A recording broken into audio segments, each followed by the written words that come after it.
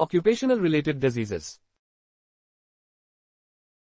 Occupational diseases are health conditions that are caused by exposure to hazardous substances or conditions in the workplace.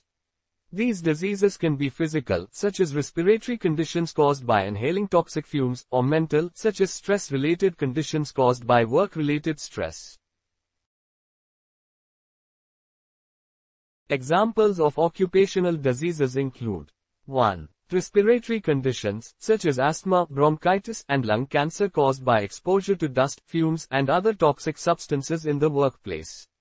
2. Skin diseases, such as dermatitis caused by exposure to irritants and allergens in the workplace.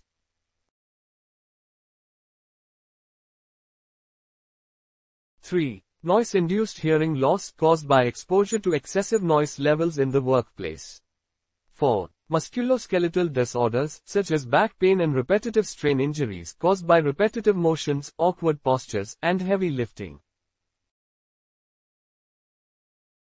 5. Stress-related conditions, such as anxiety and depression caused by work-related stress and burnout. 6. Poisoning caused by exposure to toxic substances, such as lead and mercury. 7. Cancer caused by exposure to carcinogenic substances, such as asbestos and benzene.